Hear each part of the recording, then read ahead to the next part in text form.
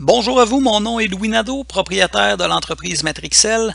Matrixel se spécialise dans la formation et le développement d'applications sur mesure sur le logiciel Excel de Microsoft. Aujourd'hui, je veux offrir une opportunité aux dirigeants d'entreprise qui ont des employés qui travaillent sur la route et pour qui la collecte de temps est toujours fastidieuse et non efficace.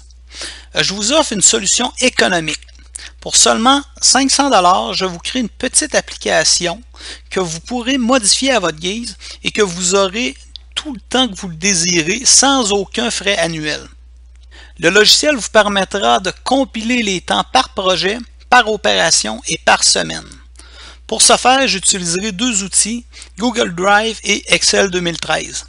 Notez que je pourrais utiliser d'autres versions d'Excel. Cependant, l'utilisation des segments ne serait pas disponible pour les versions 2007 et pour les versions 2010, certains segments ne seraient pas accessibles.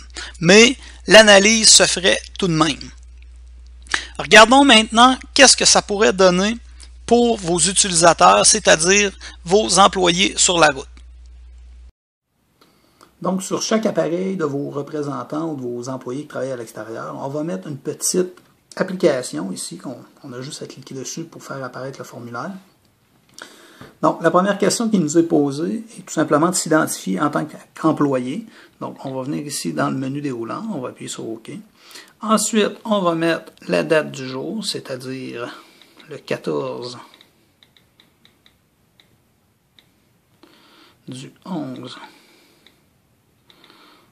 2014. On aurait pu utiliser également le calendrier. Ensuite, on va rentrer l'heure de début. Donc, l'heure de début ici, disons qu'on a commencé à 8 heures. Je ne suis pas obligé de rentrer les minutes et disons que j'ai fini à 10h30. Là, par exemple, je vais être dans l'obligation de rentrer le 30 minutes. Je fais OK. Ensuite, je choisis mon numéro de projet. Je vais dire que j'ai travaillé sur le projet Dalousie. Et pour terminer, je dis quelle opération j'ai effectuée sur le dit projet. je fais OK. Tout ce qui me reste à faire est d'appuyer sur le bouton Envoyer. Et l'information se transfère directement à Google Drive. Un petit message nous informe que l'information s'est bien transférée.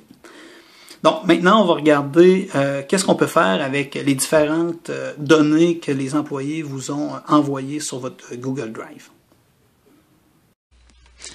Donc, une fois que les informations ont été transférées par les téléphones intelligents, Google Drive rassemble toutes ces informations-là dans ce qu'on appelle une Google Sheet, c'est-à-dire c'est une feuille, euh, c'est un tableur en soi de Google.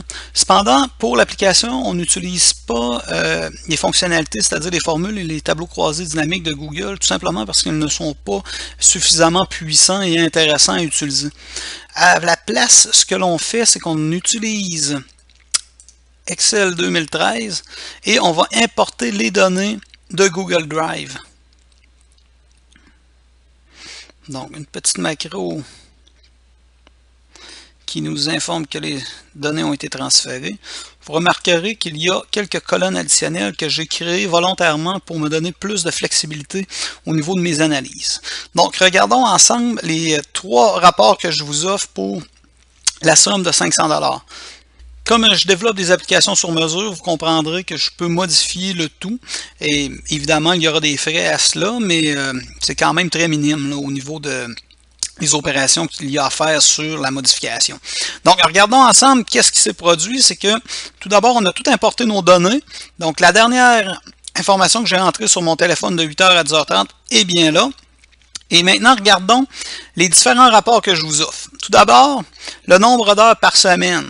Donc, c'est le rapport, je vous dirais, qui est probablement le plus utilisé, qui vous permettra de savoir qui a travaillé dans la semaine. Et ainsi de suite. Donc, je peux sélectionner avec les différents segments en rapport aux semaines. Donc, là, on a l'année et la semaine. Donc, je peux naviguer rapidement avec ça.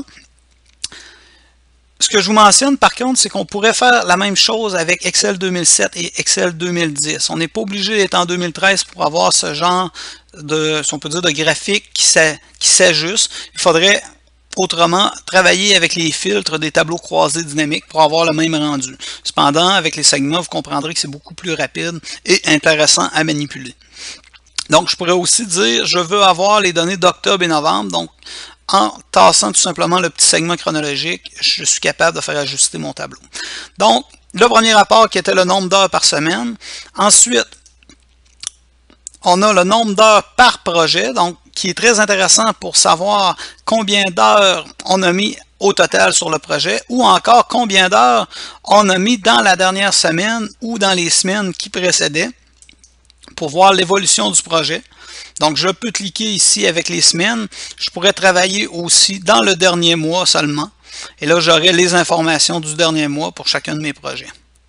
Le dernier rapport que je vous offre, c'est par rapport aux opérations, pour savoir plus dans le day-to-day des gens, qu'est-ce qu'ils ont fait, sur quelle opération ils ont travaillé. Comme par exemple ici, je pourrais regarder quelles sont les personnes qui ont fait des entrées de commandes.